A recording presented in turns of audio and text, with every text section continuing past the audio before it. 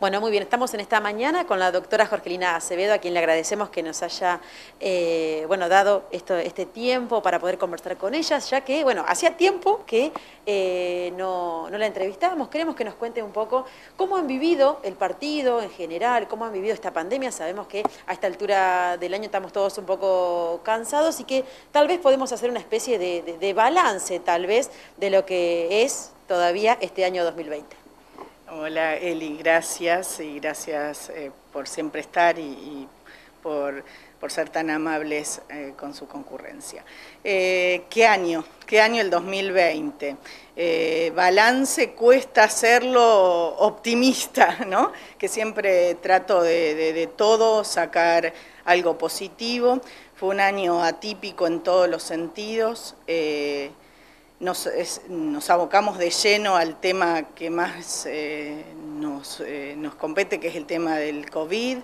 Eh, se ha trabajado en eso, en paliar, en tener las menos consecuencias posibles, pero hay cosas que fueron inevitables, como estar inmersos en una crisis económica total y sanitaria, no deja, si bien estamos, hablo no, no de, lleno en lo local, sino también en lo provincial y nacional. Eh, esto ha agravado lo que, lo que ya estaba en la Argentina viviendo una recesión total y, una crisis socioeconómica evidente. Se ha traspolado a otros sectores y hay eh, mucha movilización eh, de la gente y bueno, es, es, un año de mucho, de mucho sufrimiento para mí en todos los sentidos. Bueno, justamente con respecto a este año, en el medio de esta pandemia han sucedido eh, muchísimas cosas, ¿no? entre ellas lo educativo, que también es un factor muy importante, bueno, la salud ni hablar, y bueno, con respecto a, lo local, tal vez digo, ¿qué, ¿qué opinión o qué se, puede decir de justamente en el marco de lo educativo, en la última sesión del 14, eh, se, bueno, en este caso en el día de ayer se manifestaron algunos los gremios de, nuestra ciudad con respecto a las opiniones que tuvo eh, eh, Juntos por el Cambio con respecto a lo educativo y a los contenidos o a la capacidad que tienen o no los docentes para enseñar en este contexto. Digo, ¿qué, opinión tienen al respecto?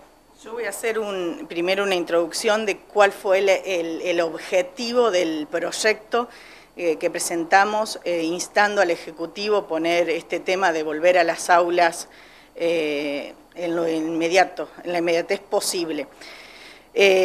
como dije, nos sorprendió la pandemia, así chocó la parte educativa, no estábamos preparados para la virtualidad, hay muchos chicos que han perdido el contacto con el docente por más esfuerzo que se ha dado de la parte educativa y, no dejo de valorar que nos reinventamos, como se reinvertó la educación, nos reinventamos nosotros como padres, como familias, para que nuestros hijos sigan conectados en la educación como tal, como educación, no solamente asistencia de la parte alimenticia, si se quiere la parte sanitaria, que es re, eh, re importante, pero nuestros, nuestros eh, niños deben estar educados, deben tener conectividad, deben tener cercanía con los contenidos a dar.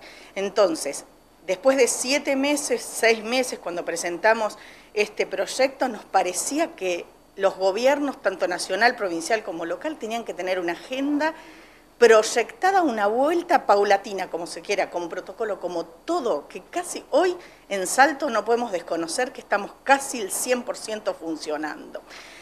Eh, es doloroso para nosotros transitar la calle y ver a tantos adolescentes esparcirse, ir a jugar, tomar mate, juntarse, tener los niños también otras actividades y no poder ir al colegio. Entonces, no, entendemos, entendemos que no es fácil, que no pero eh, recogimos el guante de una porción muy interesante de la sociedad que pedía a gritos que los, los chicos vuelvan a la escuela. Y la idiosincrasia que tenemos muchos partidos, como ser Inés Indar, Arroyo Dulce, no pueden los chicos de esas localidades hoy no estar en la escuela, porque son los mismos que se sientan en una plaza. Mis propios alumnos, yo soy docente, doy eh, clases en el Instituto Mariano Moreno de Indar en quinto y sexto año, y ellos mismos, cuando yo me conecto a Zoom, me dice, profesora, estamos en una plaza sentados, somos los mismos, nos conocemos todos. Entonces requería. Entonces, eso fue nuestra. No decimos cómo y no desvalorizamos lo que están haciendo, lo, desde lo que se reinventaron y lo que pusieron, ese, afán de, querer llevar adelante la educación. No lo ponemos en juego, pero es momento de sentar y decir, la, pandemia ha llegado, el COVID está entre nosotros, tenemos que ver cómo volvemos a las clases. ¿Queda poco de este año? No sé qué poco, si se extiende, no lo sé, yo no soy especialista, pero por lo menos la agenda tiene que estar. Con respecto al, contenido, lo, sé, al contenido de los sindicatos, la verdad no, fue, no representa lo que nosotros dijimos ni manifestamos. De hecho, yo no estuve en la sesión, pero eh, mis compañeros fueron muy respetuosos de la labor docente, de la labor de los directivos, pero como te vuelvo a decir, eh, se propuso poner en agenda el regreso a clases, porque es una, una algo que, la sociedad lo pide, una porción muy grande de los vecinos de Salto y, y de los propios alumnos, eso es lo que hay que ver, los propios alumnos piden el regreso a las aulas. Eh, la, presencialidad eh, en cuanto a lo educativo eh, es irreemplazable? Es irreemplazable.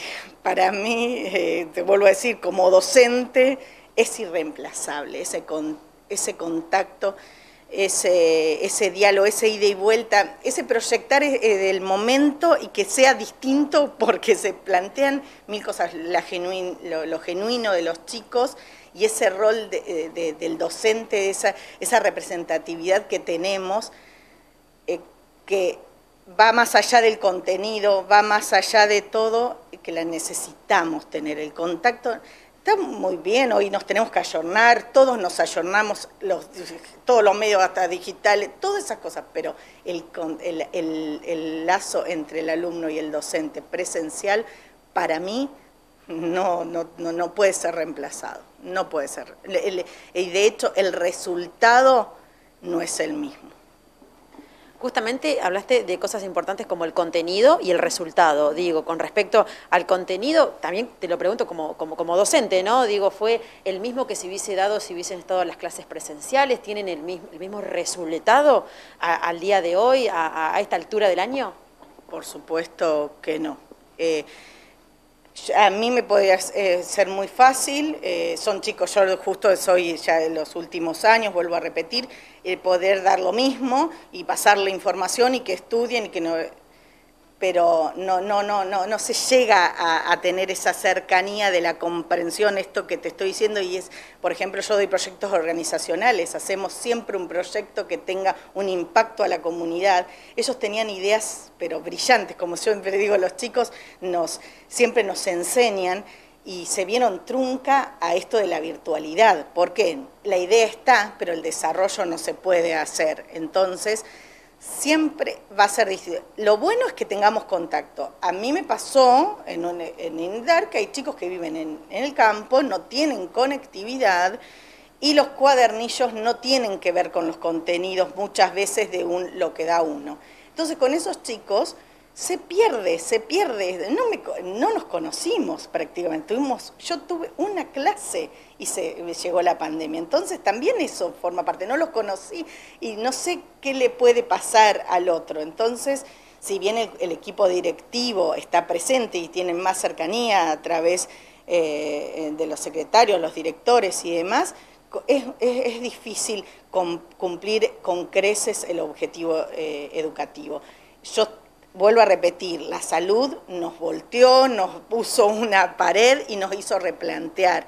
Pero pasado este tiempo y sabiendo que esto continúa, tenemos que nosotros ser capaces de convivir con este virus, porque hoy nuestros chicos están igualmente expuestos, porque los padres y todos eh, salimos a trabajar, ellos hoy están yendo a sus actividades recreativas, deportivas y lo bien que por lo menos puedan tener y están en contacto con otros chicos. Entonces, de la misma manera y buscando un protocolo, yo creo que hay que ir por ese sendero eh, de la vuelta, del regreso a clases presenciales.